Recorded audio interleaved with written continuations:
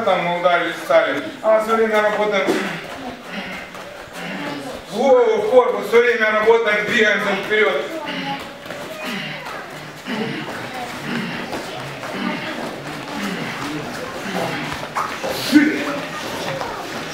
Не-не-не-не, смотри, как одно целое. Вы, получается, ударили, поставили, перешли, ударили. Вы одним движением. Вот человек двигается туда, там раз и сразу сюда, бам, и сразу сюда, бам.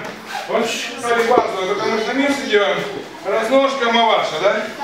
А сейчас, получается, мы делаем первая маваша, но возвращаем не назад, а уже в удачи. Опять под шаг, дан. Сюда раз, дан, касание сюда, бам. Так, свободно, раз, встали.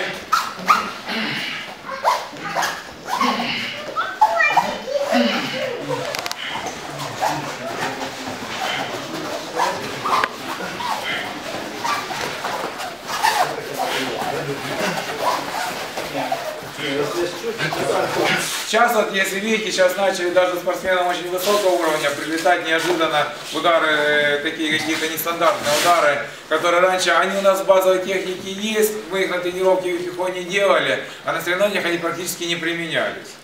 А сейчас это прям уже такой сплошной полосой пошло. Поэтому для того, чтобы это для ваших спортсменов, для вас не было сюрпризом, надо это делать постоянно на тренировках. Если у вас не будет на коронной э, в одном из коронных, в одной из коронных комбинаций это. А э, тем более здорово будет, если вы там поставите на коронку и сделаете для кого-то сюрприз. В любом случае, часто, даже если не потрясете, то возможно поломаете ему его рисунок боя.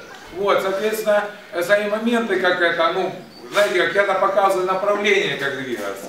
И за короткое время невозможно научить. Понятно, что если вы занимались у меня в зале, мы в зале с вами не двигались. Но даже по построению тренировок за эти 3-4 дня, получается, я начал с минимума, э, подводящие все упражнения сделал, а потом мы поработали в парах на приемы и закрепили это в поединках. Помните обучение, просто как пример я вам ставлю. Обучение у нас получается техника, скорость, сила. Да, я все время там на, ну, на вот прямой там у нас. Не надо, чтобы они сразу били сильно и, и, и, и, и быстро, иначе это ничего не получится. Вначале мы учим четко техника, потом добавляем силы, и скорость, и потом добавляем туда силу. И так любой. Вышел на мешок человек, вроде он бьет кихон нормально, вышел на мешок, и вы же видели, у него там куча обратно э, каких-то ошибок, как правило, руки забываются.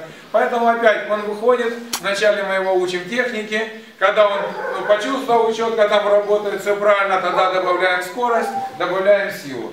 Э, видим, что это не получается, у него силу убрали, осталась техника и скорость. Не получается, убрали скорость. Ну, кстати, вот я по себе тоже, вот я там делаю, делаю, бывает трассы, что-то чувствую некомфортно мне. Я сразу выбираю силу, проанализировал на технике, э, если нет, и скорость выбираю. 100% спортсмены высокого уровня там будут применять это их поединки. Невысокого тоже, кстати, не применяют, но там есть же видео, если пошанули, прихватили, то есть надо, нужен опыт э, участия в соревнованиях, знать, что в дальнейшем делать. Чем опасны эти удары с разворота для того, кто бьет, если у спортсмена невысокий не уровень. Но если вы это будете делать на тренировках, как минимум для спортсменов не будет сюрприз, они все время находятся в этой ситуации на тренировках, не будет сюрприз, когда откуда-то прилетает непонятно, вы же видели на соревнованиях. Многие хорошие бойцы ставят на, э, это на коронки, на коронные комбинации, и, соответственно, много нокаутов. То есть, как бы для того, чтобы не было, люди все время должны быть в этой ситуации. Хорошо? А ну это один из вариантов развития, а дальше уже сами будете работать.